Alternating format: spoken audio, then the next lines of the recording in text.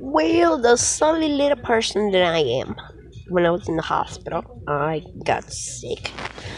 it's just a regular, normal cold, like I get every year. But the people I live with, they're freaking out because they thought it was uh, the virus. Um, my fever's still up, but because I'm such a high risk to get an infection, I'm not going back to the ER. I know how to take care of myself. Need tissues, Benadryl, and I think I'll show you guys tomorrow what I've been doing the, during the quarantine. I have been making money my own way.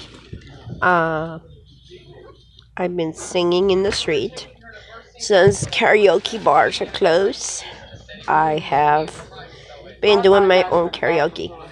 Huh. I'm videotaping. Videotaping.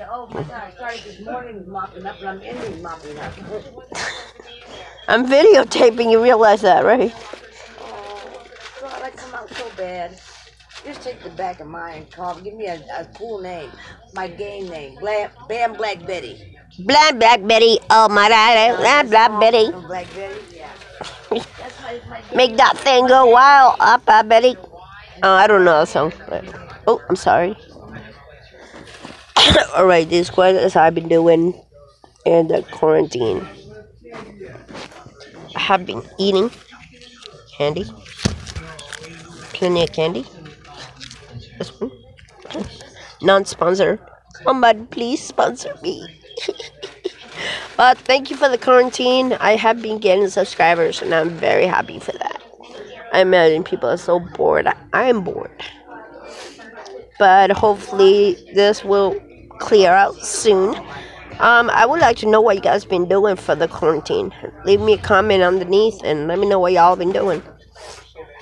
Besides me singing um, um, on the street karaoke and me watching Jimmy Fallon on YouTube and uh, Logan Paul and Jake Paul.